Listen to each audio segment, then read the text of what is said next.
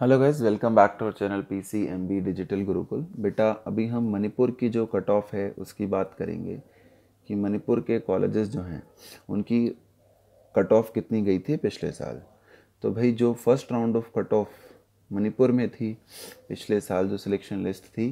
तो उसकी अगर हम बात करते हैं तो यहाँ पर आपको एक तो दो दो एडमिशन दिख रहे होंगे मणिपुर यूनिवर्सिटी में।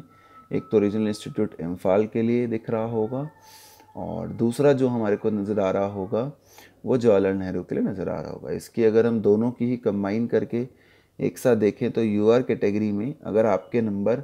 साढ़े पाँच सौ के आसपास थे, यानी कि 550 मार्क्स थे, और 550 मार्क्स का मतलब अगर हम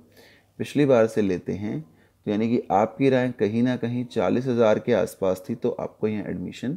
आराम से मिल गया था। ओबीसी में अगर आप देखेंगे, और आपकी रैंक अगर सेवेंटी फोर थाउज़ेंड के आस सॉरी नॉट सेवेंटी फोर अगर आपकी रैंक पिछले साल के हिसाब से इसमें ये तो फोर्टी थाउज़ेंड हो गई बेटा, है ना? तो अगर आपकी रैंक जो है पिछले बार फिफ्टी थाउज़ेंड के आसपास थी तो भी आपको ओबीसी में एडमिशन यहाँ पे मिल गया था।